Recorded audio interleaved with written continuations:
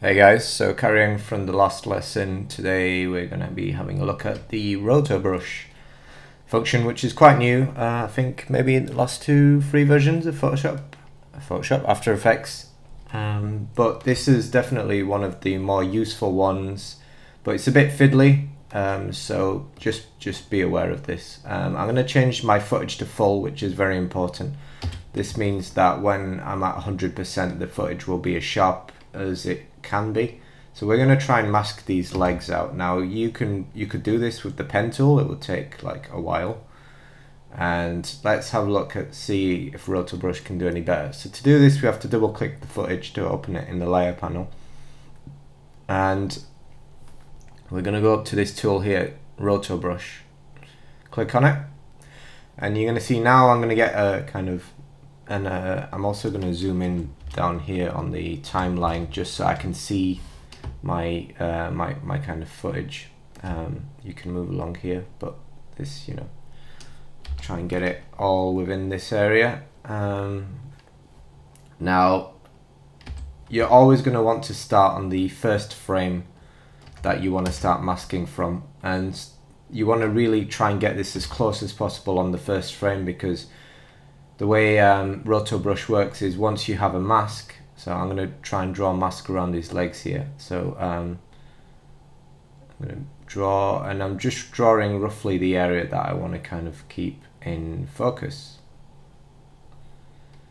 And as you can see, everything's changed. We have an effect that's been added here on the left. We've got this little, um, these little like dots, uh, well, chevrons, arrows, whatever you want to call them, pointing forward um, and backwards. Uh, fortunately, we're not going to want to go backwards, so I'm going to drag that in. And um, if I move down in time uh, on here, we're going to see that it's trying to work out, oh, what, you know, it's as you can see, this uh, purple area is moving. Now, it's not working very well because we haven't sorted a proper first frame. So you can hold um, compress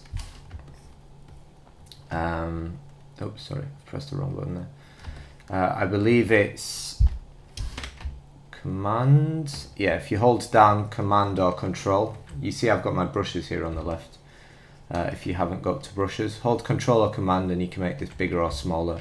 And then hold alt to remove from the area. So um, as you can see here, if I, again, I've shown you this kind of little do that before and what it does is it doesn't brighten the screen it just brightens your view of the screen. So um, After Effects still has the same pixel information it always did, but um, for me it's just a bit easier to see because this is a particularly dark clip, especially at the start. So what I'm going to do is try and get this as close as possible. So we've got little areas here poking out. So if I, again, if I just, as long as I have the tool selected, if I just click, I'll get this plus, and if I hold Alt, I'll get a minus. So it's all about trying to get this as close as possible on the first frame and obviously we don't want this area between his legs. So uh, let's try and get rid of that.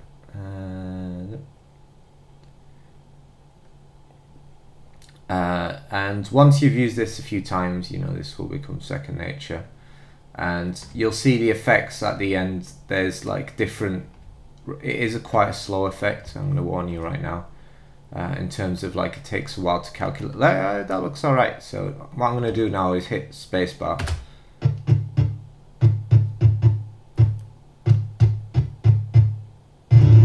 Okay, so let's have a look at what it's done. And you know that looks pretty good to me. Uh, around the outside. The only place it's struggling is where I've done like pixel warping to slow the um, edges down. Now we're losing it in the middle, as you can see here, look in the legs, we're losing it in the crack. And the further we go, the more messed up that's getting. So you have to remember with this, can you fix it on the first frame? No, you can't here. I've been as literally as close as possible. So the next thing you do is move it onto the first frame where it starts to go. Because if we fix it here, maybe, maybe, and as you can see, we've lost our whole preview now. But if I hit spacebar again, maybe it will no so it's still struggling. So we're going to come to the next frame again help it out. Uh, just kind of like and this is getting closer now. Uh, okay we're, we're losing it a tiny bit there so I'm gonna try and be as close as possible and I'm going to hit OK and here we're losing it again so minus see if that helps it. And oh it almost did it so it's did a few more frames right. Um, we're starting to uh, need to kind of paint this area in because as this calf comes in uh, as you can see it's struggling with that. So um, we just need to give it a bit of a hand there. So that's all good that's all good. Uh, problem being we're starting to like see this area here as well. But you get the idea uh, just plus and minus and obviously here like we're starting to lose it a lot more. And again that's because I've pixel warped the footage. As you can see the footage is like warping horribly. So um, I did that wrong there you see. I've gone to a frame where I've done it and there's a frame before where I should have fixed instead. So uh, naughty naughty. Uh, let's go back to the first one hit spacebar and watch it preview. And I'm just going to assume that this has done this right. I mean I could go back and refine it a bit more so like add that there. Lose this bit in the middle. Uh,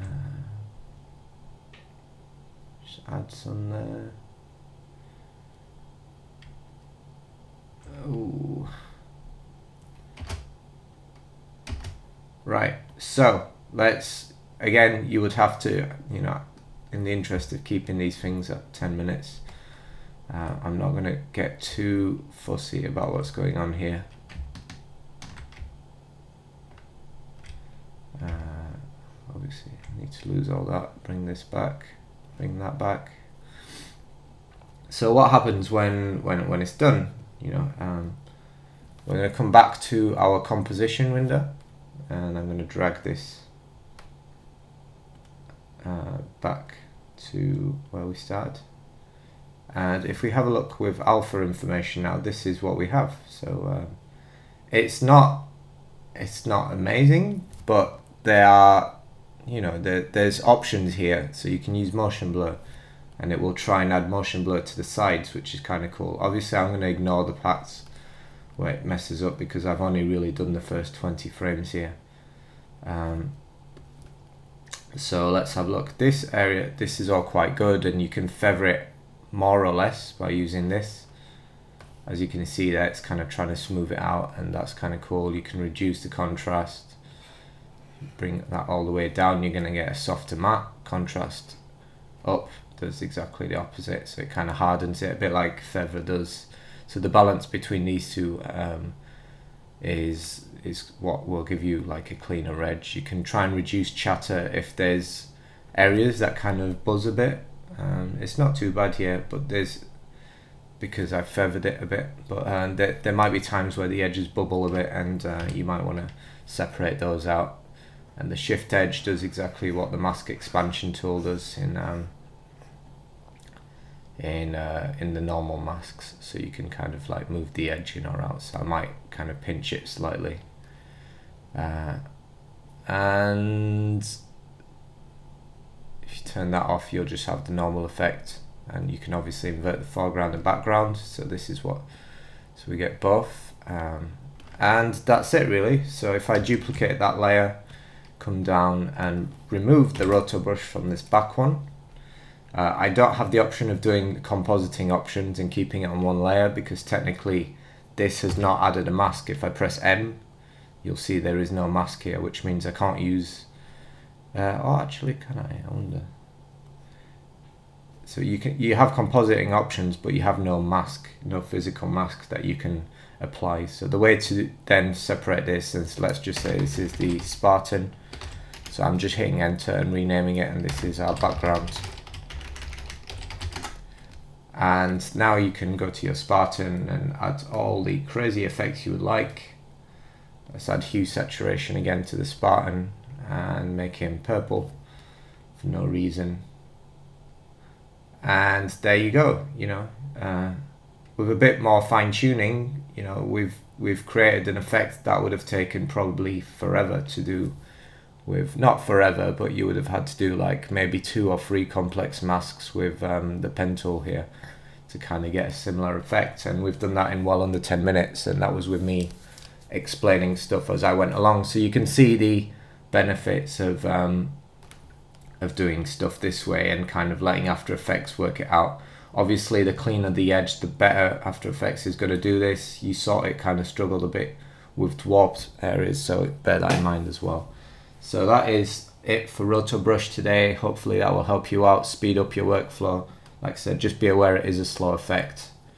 And to access it, you have to double click and do stuff in the layer panel. Um, and then when you're done, make sure you go back to the composition panel to see how stuff looks.